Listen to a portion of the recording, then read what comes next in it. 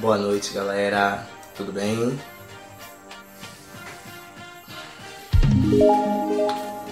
Muito prazer, galera.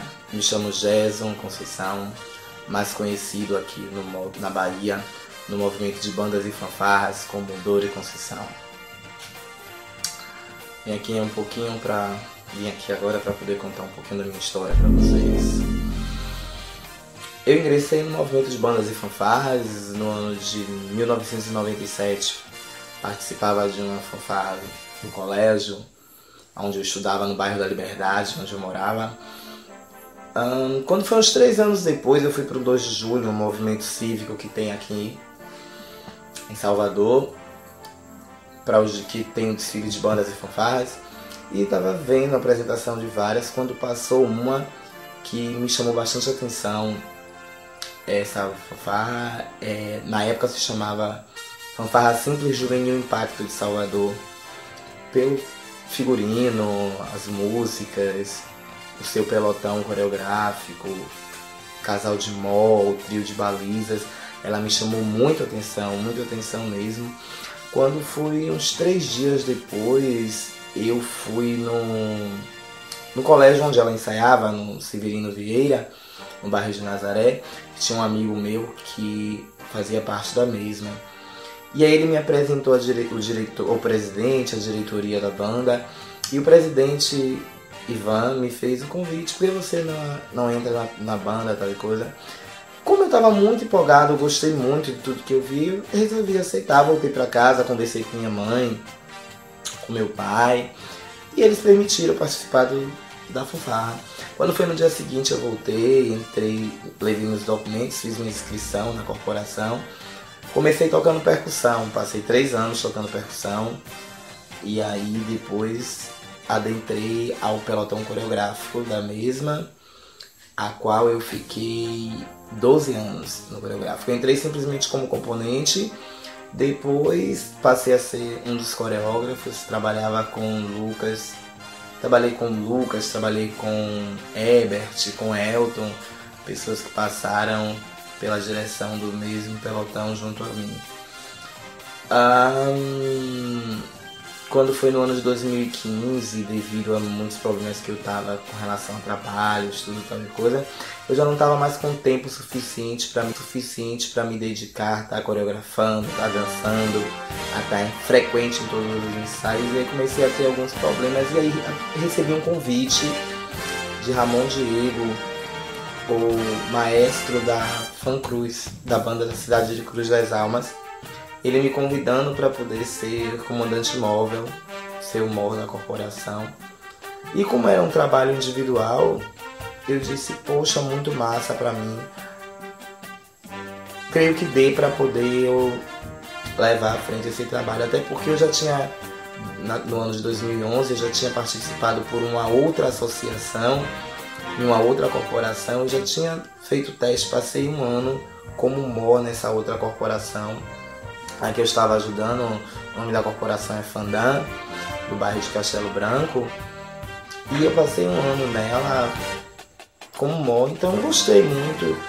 E fora que eu, na Impacto, eu já acompanhava Valdeci, Israel, que, nossa, sou muito fã do trabalho deles, muito fã.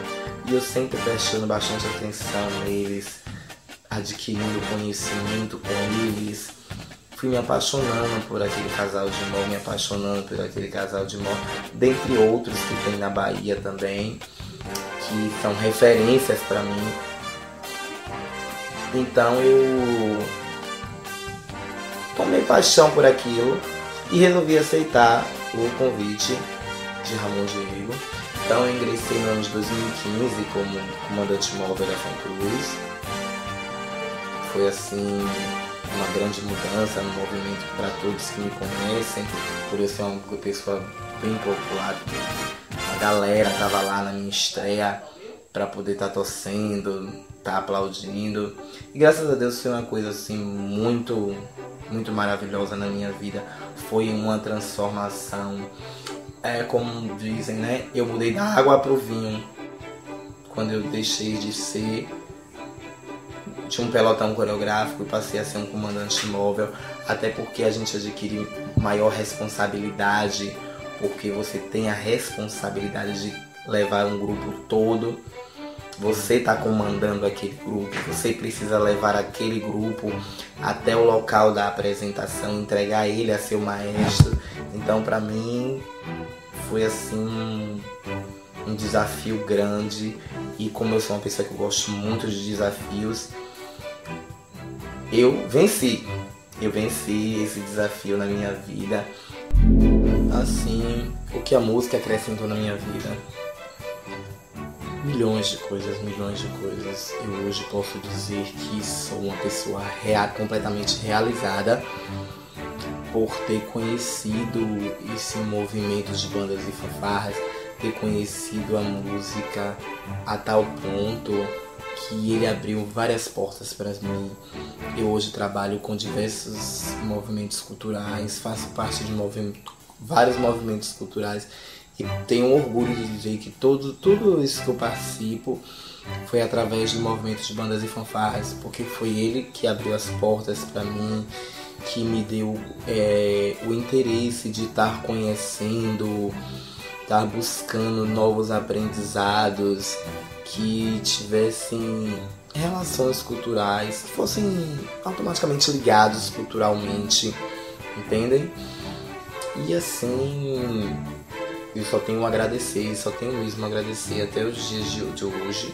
Eu só tenho a agradecer que cada dia eu vou descobrindo é, outros formatos, formas novas de se trabalhar, usando a música, usando todo, tudo que eu aprendi, venho aprendendo até hoje, porque eu não sou sábio ainda. Eu venho aprendendo a cada ano que vai se passando dentro desse movimento de bandas de fanfarras através da utilização da música, da dança, da expressão corporal, de tudo um pouco. Eu tenho conquistado muita coisa, muita coisa mesmo. Tenho trabalhado com pessoas que eu nunca imaginei de trabalhar na minha vida, adquirindo certos tipos de conhecimento. E hoje eu tenho, eu posso sentar, dialogar, discutir trabalho com certos tipos de pessoas que antes eu não poderia fazer isso porque eu não tinha o embasamento do conhecimento para estar tá dialogando com as pessoas, para estar fazendo até mesmo que certos tipos de criações com como eu venho fazendo esses últimos anos, como eu já fiz.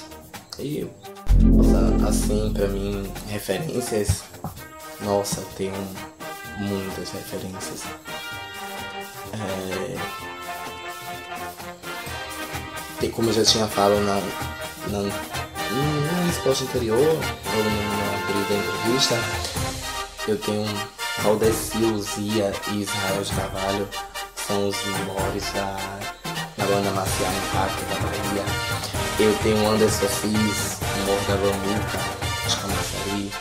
Eu tenho Vinícius, Morro da Dragões da Bahia.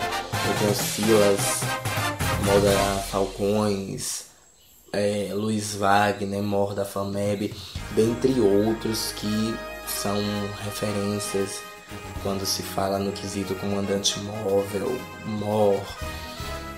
Nossa, eu assistia a eles antigamente, eu ficava encantado com tudo aquilo que eu via. A forma de eles conduzirem a corporação, a forma com que eles manuseavam os seus bastões, os seus meses, né, para quem chama assim. É, nossa, eu ficava muito encantado e eu dizia para mim mesmo, um dia eu ainda vou querer chegar próximo, não vou ser igual, mas vou chegar próximo a todos eles e graças a Deus esse dia chegou na minha vida.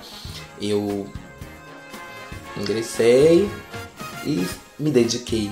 Tenho me dedicado muito dia após dia porque eu não costumo entrar em um grupo para fazer algo, para fazer por fazer. fazer por fazer qualquer um faz. Se é para fazer, vamos fazer com dedicação, com amor, com foco, vamos estudar aquilo que estamos fazendo para deixar sua marquinha para os outros que vierem poder dizer assim é poxa eu me inspirei em Dori eu me inspirei em Ana Rita eu me inspirei em Alex é, eu me inspirei em Valdeci eu me inspirei em Israel e dentre outros então eu acredito que se é para nós fazermos as coisas devemos fazer com total dedicação e é acrescentou muito mesmo a minha vida. É, foi o movimento de bandas de fanfarras, foi o primeiro movimento cultural que eu comecei a participar e através dele que abriu as portas para poder participar de, de outros movimentos que envolvia dança, que envolvia o corpo. É, foram vários, são vários movimentos culturais que hoje eu participo e foi através dos movimentos de bandas e fanfarras me ensinou a ser uma nova pessoa, a ter novos comportamentos, a conviver com contingente de pessoas, entendeu? Porque eu não estava acostumado a participar de grupos tão grandes como hoje participo dentro do movimento de bandas e fanfarras. Tem grupos que têm 100 a 150 componentes então a gente precisa saber lidar com todos, ainda mais na posição que eu ocupo dentro do movimento, que é a composição de o comandante móvel.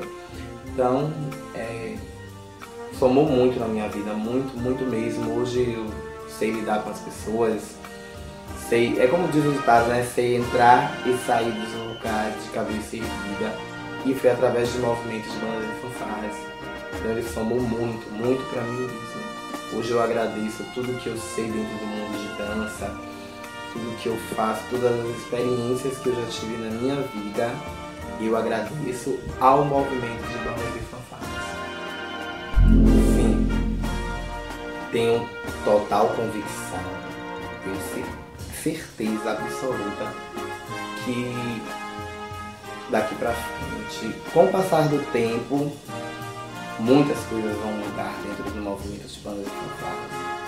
Sim, é como diz a música de Cazuza, né? O tempo não para. E não somos nós que vamos fazer o movimento de bandas e fanfarras parar, achar que chegamos ao topo, porque não chegamos. Sempre vai estar acontecendo de uma coisa nova vir a agraciar mais ainda o nosso movimento. Então, mais uns anos daqui para frente as coisas vão estar bem mais evoluídas do que está hoje. Então, o que eu gostaria que mudasse dentro do campeonato baiano, eu falo no geral, não sei, dele todo. Assim, eu queria fossemos mais valorizados dentro das nossas próprias casas. Quando eu falo dentro das nossas próprias casas, eu falo nós somos artistas nós somos artistas e por isso precisamos ser respeitados. Eu acho que o que tem que mudar dentro do campeonato é a forma do respeito, que não há. É preciso ter respeito. Precisamos respeitar um ao outro para poder conquistarmos os nossos objetivos daqui para frente. Ia ser acrescentado, eu, eu acho assim, ó, podemos estar investindo mais nos workshops, no, diálogo, nas reuniões, para termos mais aprendizados, passar os conhecimentos. Já está acontecendo, eu vejo que já vem acontecendo há algum tempo, alguns congressos, algumas formas de estudos, de trocas de experiências para nossa própria melhoria, mas eu acho que deve ser investido mais nisso, até mesmo por conta da própria associação. Se a associação promovesse essas, esses encontros, esses, essas transferências de experiências, é, seria, uma, teria um crescimento magnífico para o nosso movimento. Sim, claro, existe sim esse. Não vou dizer que seja um personagem, mas ser. Nós, nós somos um comandante móvel. É de total importância dentro de uma corporação você ter um móvel. Então, esse, é, esse, vamos dizer assim, esse personagem é necessário se fazer presente em uma corporação, porque é ela que vai guiar essa corporação até o devido lugar, onde tem que se fazer de jus à sua apresentação. Eu acho que é necessário, como você classifica a pergunta, né? é necessário esse personagem mó dentro de uma banda fanfarra. Porque querendo ou não, é ele que vai conduzir, é ele que vai guiar aquela a, a corporação musical, a parte musical, até o devido local de apresentação. Nossa, o modismo do passado.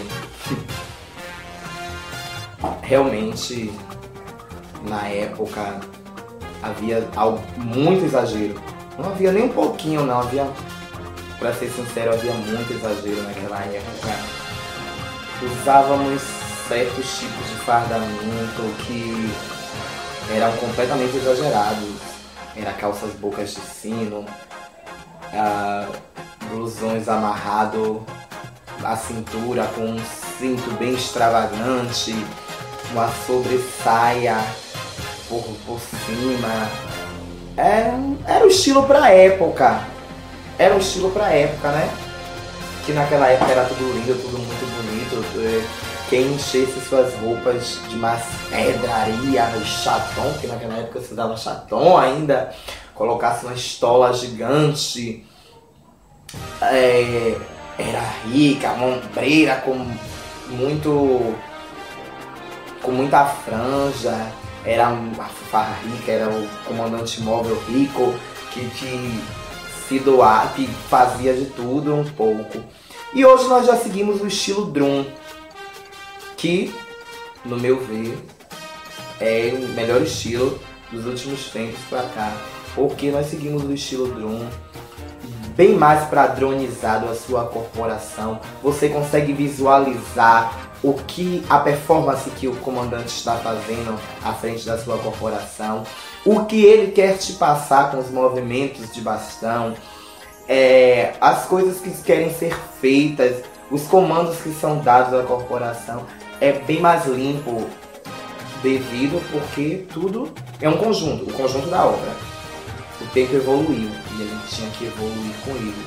Porque se o tempo evoluísse e continuássemos seguindo as mesmas coisas do passado, a gente torna, nos tornaríamos arcaicos. A mensagem que eu deixo para meus, meus colegas de profissão, né? Mas assim, eu penso, vamos nos unir mais Vamos nos unir, sentar, dialogar, uh, ver ao melhor modo que podemos estar chegando ao conceito que queremos dentro das nossas apresentações. Vamos, ser, vamos nos unir. É o que precisamos. Precisamos nos unir mais. Já temos um, um grande contingente de móveis da Bahia que vivemos em grupo, a gente estamos sempre dialogando, conversando, procurando a melhoria para o nosso movimento, não só para o nosso movimento, quanto em todo, quanto para nós, entendeu? É, vamos nos unir, é o que eu mais desejo para todos eles.